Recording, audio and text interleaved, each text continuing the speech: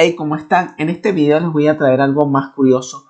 Vamos a hablar de las dinámicas del mercado porque creo que es importante eh, que los nuevos, sobre todo, aprendan un poquito a, entender más o menos qué pasa en cada ciclo de mercado, porque si bien los, eh, los movimientos realmente en el mercado son los mismos, eh, los ciclos de acumulación, los ciclos de distribución, los bajistas y los alcistas, al fin y al cabo, son muy parecidos. Normalmente siempre hay unas dinámicas que tiene Bitcoin contra el mercado y con el mercado que sería interesante que los novatos aprendieran porque de verdad que te da un entendimiento más a nivel macro y realmente creo que es importante sobre todo si no solo inviertes en Bitcoin sino que también esto te puede ayudar en el momento en que te diversificas a algunas altcoins cosa que bueno ya de entrada no recomiendo y ya ahorita voy a decir por qué Vamos a CoinMarketCap, que ustedes saben que este sitio web es como una especie de páginas amarillas del mercado. Muestra muchísimas criptomonedas, casi todas las criptomonedas que existen. En este momento tenemos casi 9.000 criptomonedas.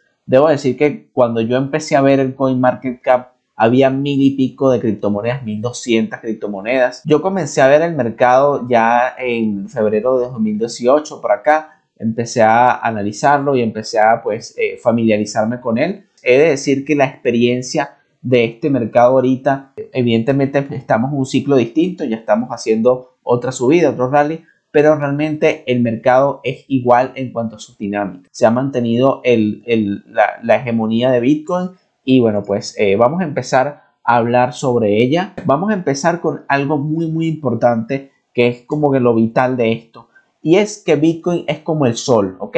O sea, todo gira realmente alrededor de él y Bitcoin como es, el astro que hace brillar esta industria. Si Bitcoin le pasa algo, la industria lo, toma como algo malo y bueno, pues ustedes pueden ver caídas del mercado. Eh, una cosa muy importante que tienen que ver es la dominancia de Bitcoin. Aquí pueden ver que está en 59%, vamos a decir que está en 60%, pero realmente es mucho más, ¿ok? Es mucho más de lo que dice ahí ¿Por qué? Bueno, porque en esta, en esta dominancia están incluidas todas estas criptomonedas. Muchas de estas criptomonedas, y no solo que es muchas criptomonedas, sino que tienen mucho market cap, son stablecoins, o sea, monedas que están apegadas al dólar. Eh, podemos destacar aquí el Tether USDT, ¿verdad? Que aquí pueden ver que está en, en precio de un dólar y ya es el tercer market cap, o sea, es una moneda muy importante. Eh, y bueno, pues aquí también tienen otras monedas estables, por ejemplo, USD Coin, que está en el 12, y está también eh, Paxos, está también BUSD, que también tienen un, share importante en, el, en, el, en el mercado, así no estén en el top 1, por ejemplo, Binance, por ejemplo, DAI, fíjense que tienen toda la paridad más o menos con el dólar y entonces eh, es mucho más realmente lo que tiene Bitcoin en la práctica. Igual esto sirve para ver más o menos un baremo de dónde se está moviendo el dinero. Y ahora vamos a hablar de cómo entra el dinero en el mercado para que ustedes entiendan después cómo se mueve.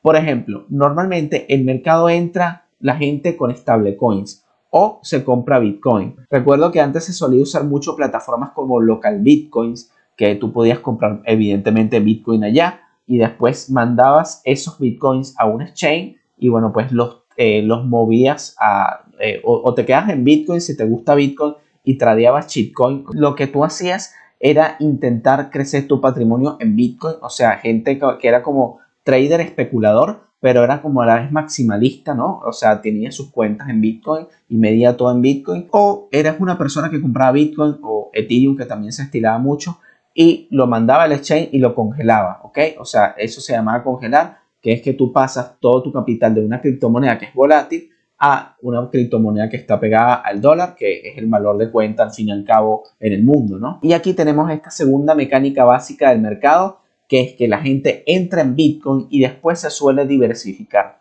Pero esto no suele terminar bien, porque yo no sé si ustedes lo saben, pero este market cap, ¿verdad? Esto que ustedes ven aquí, ha cambiado muchísimo a lo largo de los años.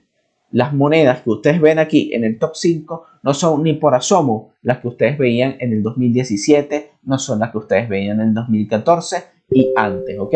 Eso es algo muy importante que ustedes tienen que tener en cuenta. Y aquí viene una realidad en este mercado que es que no hay ninguna moneda que a largo plazo le haga frente a Bitcoin. Hay unas que se quedan cerca, ¿verdad? Tomamos el caso de Ethereum, tomamos el caso de Litecoin, que ya ha bajado bastante, está empezando a perder muchos puestos.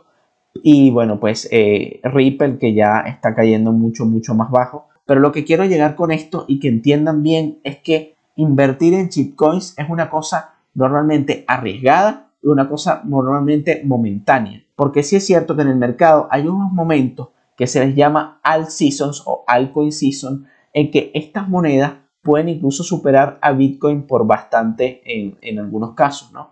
Mi primera season pasó, recuerdo, cuando estábamos en la zona esta que rebotamos aquí, eh, el, precio se fue, fue lentamente, pero consistentemente aquí. Y bueno, pues en ese momento tuvimos un rebote enorme en altcoins. De hecho, esos season fueron tan impresionantes que creo que un artículo, una revista más o menos famosa, pero de verdad no recuerdo cuál, que hablaba de los airdrops como una especie de negocio freelance como el siglo XXI, ¿no?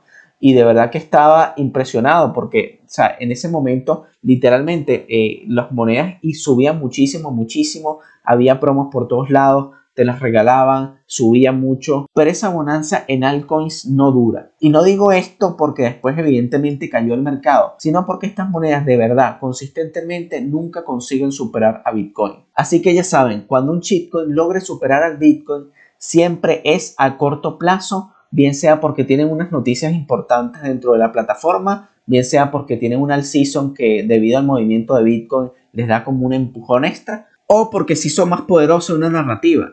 Por ejemplo, en esta época en la que estamos, eh, se hizo famoso eh, lo que son las DeFi, las finanzas descentralizadas, los NFT, y ustedes ven en el mercado un interés bastante fuerte hacia ellos. Así que bueno, pues esa rama del mercado eh, se aprecia muchísimo en estos momentos.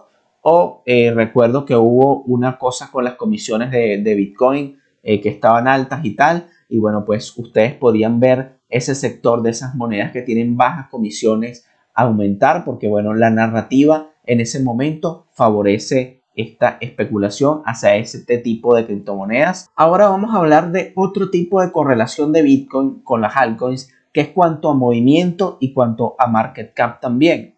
Cuando el market cap aumenta, ¿qué quiere decir eso? Que la gente está en Bitcoin y puede ser que esté en Bitcoin normalmente porque piensan que va a subir o porque reventó una zona eh, técnica importante o porque, bueno, pues tiene eh, un, análisis fundamental. Eh, digamos que una compañía, una empresa grande compra muchísimo Bitcoin y hay una perspectiva de escasez a corto plazo. La gente suele abandonar sus altcoins en esos movimientos alcistas ya fuertes que tiene. digamos, por ejemplo, esta misma subida que tuvimos aquí eh, cuando Bitcoin rompió este rango de los 4 mil dólares, eh, hubo un fuerte volumen, hubo un fuerte interés por Bitcoin. Y ustedes dirán, bueno, eh, si normalmente el mercado, porque yo estoy viendo, ya Manuel, que ustedes cuando sube Bitcoin, suben los shitcoins por un múltiplo, o sea, por ejemplo, Bitcoin sube 2% y ustedes pueden ver unas ganancias del doble incluso o más en su altcoin preferida. Eso suele darse porque está bajo el market cap o sea, hay dinero que realmente está fluyendo a los altcoins, pero cuando empieza a subir y hacer rally fuerte, fuerte Bitcoin, así pero empinado como vimos aquí, los altcoins suelen o lateralizarse hacia abajo un poco, ¿saben? O sea, una tendencia así, un poquito, o de plano irse así de boca, de pánico completamente. Y hay algún momento en el que el Bitcoin suele parar suele como que descansar, suele hacer una meseta y solo allí es que los altcoins empiezan a recuperar, ¿ok? Entonces no quiero hacerme repetitivo, pero quiero dejar claro eso. Cuando Bitcoin hace un rally muy muy fuerte, los altcoins suelen ir cayendo y bueno, esperar que suelen esperar que Bitcoin se calme un poco cuando el mercado está alcista y, pero va constantemente alcista de a poquito.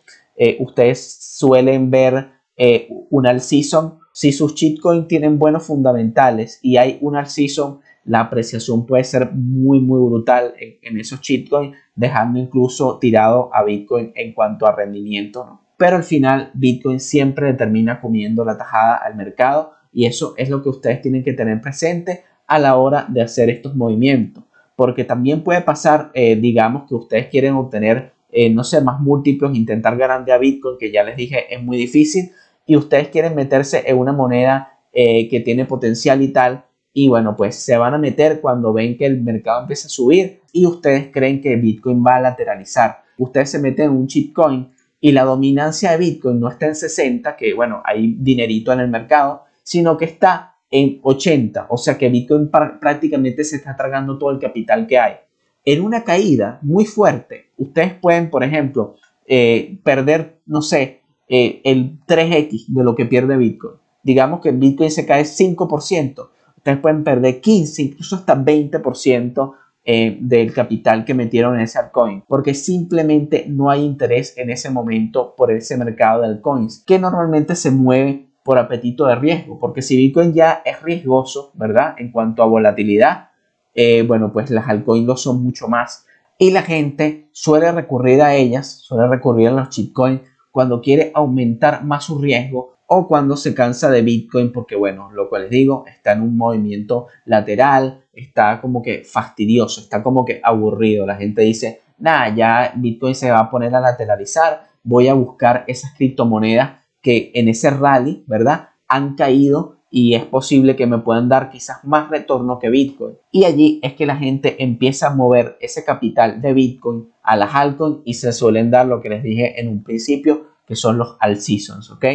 Entonces, bueno, señores, espero que les haya gustado este video. Creo que es bastante interesante para alguien que es nuevo, para alguien que no sabe más o menos las dinámicas del mercado, que puede entender un poquito más antes de meterse y probarlo por su cuenta, que es algo que en algún momento igual van a tener que hacer. Ustedes van a escuchar lo que yo digo, pero al final, eh, bueno, van a tener que verlo por ustedes mismos, ¿no? Para que vean que esto suele ser así con el tiempo y un poquito de investigación pero esto es un resumen esencial de lo que pasa en el mercado y cómo se correlaciona pues Bitcoin con los altcoins. Eh, si tienen algo que agregar, alguna correlación o algo curioso eh, que también vean en este mercado, lo pueden hacer en los comentarios. Espero que les haya servido. Este fue todo mi video y hasta la próxima.